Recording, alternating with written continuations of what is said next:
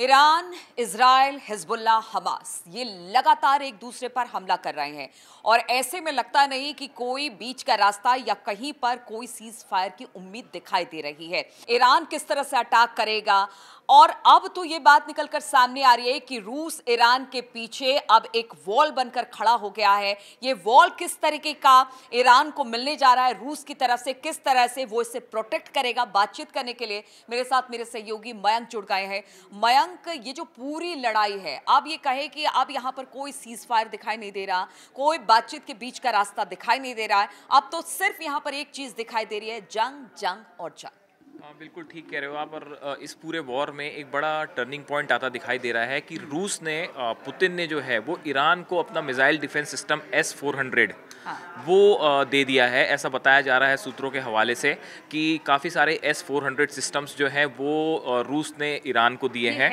देखिए S four hundred जो है ये जैसे इसराइल का Iron Dome missile defence system है आयरन डोम हम्म। उसी तरह से ये एस फोर हंड्रेड जो है ये रूस का मिसाइल डिफेंस सिस्टम है। हम्म। और नीलू ये बहुत ज़्यादा एक्यूरेट होता है अच्छा। अगर आपकी सीमा के अंदर किसी भी तरह का वॉर प्लेन अंदर फाइटर प्लेन अंदर आता है या किसी भी तरह की मिसाइल अंदर अंदर फायर होती है अंदर आती है आपकी सीमा। के ये उसको फ़ौरन लोकेट करता है और उसको लोकेट ही नहीं करता बल्कि इसको तुरंत डिस्ट्रॉय भी कर देता है अच्छा। मतलब अगर हम सरल शब्दों में अगर समझें तो जैसे इसराइल का आयरन डोम सिस्टम है किसी भी तरह की जब मिज़ाइल या रॉकेट्स अंदर आते हैं हिजबुल्ला के तो आयरन डोम उसे ख़त्म कर देता है बिल्कुल ऐसे ही अब ये सिस्टम एस फोर हंड्रेड ये ईरान एक्यूरेसी बहुत ज़बरदस्त है। अब ये ईरान के कई पोर्ट्स पे ऐसा बताया जा रहा है कि जो एयर बेस है, वहाँ पे जो पोर्ट्स है, वहाँ पे और कई जगह न्यूक्लियर प्लांट्स के आसपास एस फोर हंड्रेड तैनात कर दिए गए हैं।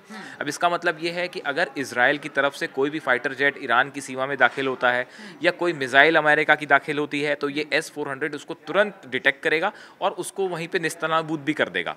तो कहने का मतलब ये है कि इस पूरे वॉर में अब ये एक बड़ा टर्निंग पॉइंट है हथियारों के लिहाज से देखिए नीलू, इस पूरे एरिया में जो है वो अभी डायरेक्ट वॉर तो नहीं नहीं हुआ है। लेकिन एक हथियारों की बहुत ज़बरदस्त जो है वो कंपटीशन शुरू है कि किसके पास कितने हथियार हैं। तो ऐसे हालात में ये जो एस फोर हंड्रेड है ये ईरान का ईरान को मिलना रूस की तरफ़ से।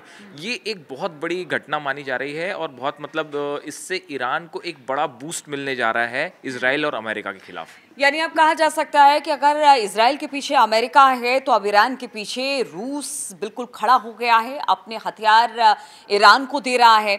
और सबसे बड़ी बात यह है कि एक तरफ़ अमेरिका ये कहता है कि अगर इसराइल पर हमला होता है तो वो इसराइल की मदद करेगा तो दूसरी तरफ़ रूस है। अब ऐसे में मयंक जरा ये बताइए, चूँकि अब हथियारों का आदान हो रहा है। एक तरफ़ से अमेरिका इसराइल को हथियार सप्लाई कर रहा है, दूसरी तरफ़ से रूस दे रहा है आपको ईरान को, उसे प्रोटेक्ट कर रहा है। ऐसे में अब ये हम मान के चले कि जो लोग अब तक मारे जा रहे, भले ये प्रॉक्सी वॉर क्यों ना हो, लेकिन ये प्रॉक्सी वॉर लोगों की जान ले रहा है और शांति की उम्मीद अब बिल्कुल खत्म हो चुकी है। और यहाँ से अब ये और आगे माहौल टेंशन भरा होगा। बिल्कुल आपने बिल्कुल ठीक क्या ठीक कहा कि देखिए पीस प्रोसेस जो है वो अभी आ, किसी तरफ़ हाँ आगे किसी कंक्लूजन की तरफ़ आगे बढ़ती नहीं दिख रही है।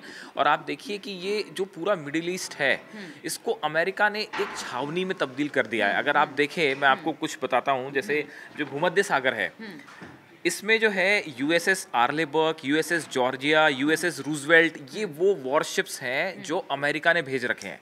अब आगे देखिए जैसे रेड सी है लाल सागर है वहाँ पे यू एस एस कोल है स्वेस कैनाल में यू एस एस बल्केली है ये हम आपको वो वॉरशिप्स बता रहे हैं जो कि अमेरिका ने ईरान के आसपास लगा रखे हैं जैसे ओमान की खाड़ी है। वहाँ पे एस रसल है माइकल मर्फी है डेनियल है और इसी तरह से इनॉय और यूएसएस मैकेन तो आप देखिए ये ईरान के आसपास अमेरिका ने अपनी पूरी आ, कहते हैं कि करीब 50 परसेंट नेवी जो है फोर्स वो पूरी यहाँ पे उतार रखी है। तो आप इससे अंदाज लगाइए कि इस पूरे क्षेत्र में कितने बड़े पैमाने पर हथियार और बारूद जमा है। रूस ने ईरान को अगर एस फोर दिया है है? तो उसमें फिर ये भी माना जा रहा है कि दूसरी तरफ़ अमेरिका ने भी ये सुनिश्चित कर रखा है कि अगर ईरान की तरफ़ से कोई मिसाइल्स फायर हुए इसराइल पे तो उसको भी हर हालत में जो है उसको रोका जाए उसका जवाब दिया जाए। दूसरी तरफ़ ये भी बताया जा रहा है कि नॉर्थ कोरिया जो है वो चीन रूस ये सब मदद कर रहे हैं ईरान की हथियारों के मामले में। तो आप देखिए मिडिल ईस्ट पूरा जो है वो एक हथियारों के जखीरे पे बैठा हुआ है। बैठा हुआ है। और सबसे बड़ी बात है चूँकि पीस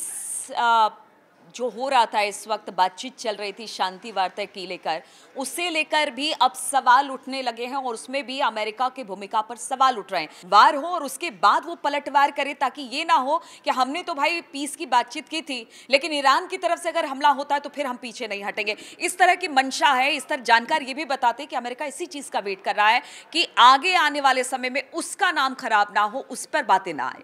देखिए, ये आ...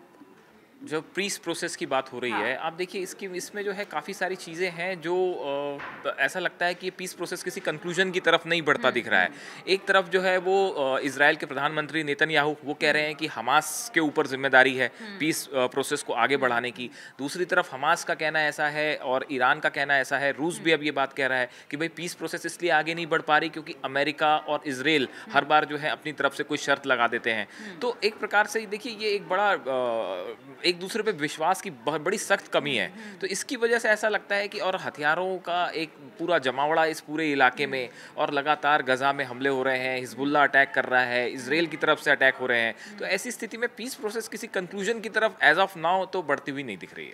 बिल्कुल आ, आप ये समझिए और लगातार ये कहा जा रहा है कि चूँकि गजा की बात की जाए गजा की धरती को इसराइल छोड़ना नहीं चाहता। उसके भी कई महत्वपूर्ण कारण कहते हैं प्राकृतिक गैस का भंडार है गजा का जो पूरा इलाका है उसमें। इसके अलावा जो कच्चा तेल है, उसकी उसकी भी काफ़ी ज़्यादा भंडार है। ऐसे में वहाँ से इसराइल आर्मी हटना नहीं चाहती है और यहीं पर बात आकर थम जाती है। लेकिन सबसे बड़ी बात यह है, चूँकि ईरान ये समझ चुका है, अभी देखिए वो न्यूक्लियर टेस्टिंग कर रहा है या बम बनाने की कोशिश कर रहा है ईरान। लेकिन इसके बावजूद ये सब कर रहा है बल्कि अमेरिका उस पर कितना ज़्यादा दबाव बनाए हुए है। एक तरह से कहेगी कि बहुत सारे सैंक्शन उस पर लगे हुए हैं। उसे लगता है कि कुछ और सैंक्शन लगा भी दिए जाएँगे तो बहुत मुश्किल नहीं होगा क्योंकि इससे पहले हमने रशिया में भी देखा था कि सैंक्शन लगे थे लेकिन तेल भारत ने भी खरीदा था। तो ऐसे में वो बिल्कुल एक तरह से ये है कि आप कितने भी सैंक्शन लगा लो हमें जो करना है हम करेंगे। ये आपने बिल्कुल ठीक कहा कि देखिए जो सैंक्शन लगाने का मामला है तो अब ये बात एकदम साफ़ है कि ईरान अब इस बात से बिल्कुल ज़्यादा चिंतित नहीं दिख रहा है कि हाँ। अगर अमेरिका या यूरोपियन कंट्रीज़ उसके ऊपर किसी तरह के सैंक्शंस लगाती हैं तो उससे डर के जो है वो अपने कोई प्रोग्राम रोकेगा। हाँ। अब वो स्टेज से हम बाहर आगे निकल चुका है ईरान। तो देखिए कुल मिला के मामला ये है कि ये बात ईरान भी अच्छी तरह समझ रहा है रूस भी अच्छी तरह समझ रहा है कि भाई कच्चे तेल की सबको ज़रूरत है। Sanctions hmm. आप लगाएँ चाहे ना लगाएँ कच्चा तेल तो बिकना ही है। जो स्थिति इस वक्त है टेंशन में है अगर ईरान को हमला करना है या हिजबुल्ला को हमला करना है या इसराइल को हमला करना है तो यानी वो हमले होंगे। इन सब चीज़ों को लेकर रुकने वाला नहीं है वो हाँ देखिए अब ये आप बिल्कुल ठीक कह रहे हो कि सैंक्शंस या इंटरनेशनल दबाव जो हाँ। है। ये अब उस समय इतना बहुत ज़्यादा काम करता नहीं दिख रहा है। वहाँ ये ज़रूर है कि अगर कोई कूटनीतिक सॉल्यूशन निकल आए कूटनीतिक हल इस पूरे मामले का निकलता दिखाई हम्म। देता है तो वहाँ पे थोड़ी सी उम्मीद है लेकिन ने भी एक चिट्ठी लिखी पुतिन ने यूएन में शायद कोई चिट्ठी लिखी देखिए ये कहा जा रहा है कि रूस की तरफ़ से यूएन सिक्योरिटी काउंसिल में एक हम्म। प्रस्ताव रखा गया है और उसमें हम्म। ये कहा गया है कि भाई ये जो पीस प्रोसेस है इसमें हम्म। इस ये आगे नहीं पढ़ पा रहा है इसकी बड़ी वजह अमेरिका है ऐसा हाँ। रूस ने अमेरिका को जिम्मेदार ठहराया है कि अमेरिका के अपने इंटरेस्ट के चलते जो है वो इस पूरे एरिया में जो पीस प्रोसेस नहीं हो पा रही है और इसमें यूएन सिक्योरिटी काउंसिल को हस्तक्षेप करना चाहिए हाँ। लेकिन अभी आप देखिए जो आपने बात कही वो बिल्कुल ठीक है कि इस पूरे इलाके में अब जो जिस तरह से हथियार हैं है ना? एक हथियारों की एक रेस सी छिड़ी हुई है।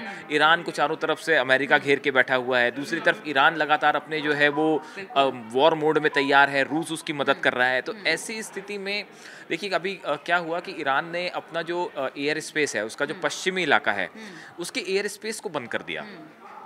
जैसे ये एयर स्पेस को बंद करने की कोई भी कंट्री जब एयर स्पेस बंद करती है तो वो थोड़ा सा एक अलार्म की तरह जाता है। क्योंकि कभी भी कोई भी जब बड़ा हमला होता है वॉर होता है तो उसमें पहली शर्त ये होती है कि वो कंट्री अपना एयर स्पेस बंद करती है। हाँ। तो ईरान ने जैसे ही अपना एयर स्पेस बंद किया अमेरिका में इसराइल में अचानक ये पैनिक हुआ कि भाई ये वॉर हो सकता है ईरान कोई बड़ा हमला करने जा रहा है। तो इसको लेके पिछले 48 घंटे से अमेरिका और मुसाद इसराइल और जो सहयोगी देश हैं उनकी नज़र इस बात पर टिकी हुई थी कि कहीं ईरान कुछ बड़ा हमला तो नहीं करने जा रहा। तो एक चीज़ तो ये हो गई। दूसरी एक बड़ी चीज़ ये है कि ऐसा कहा जा रहा है कि ईरान जो है वो अगले कुछ दिनों में अपने चौदह पंद्रह सेटेलाइट लॉन्च कर सकता है।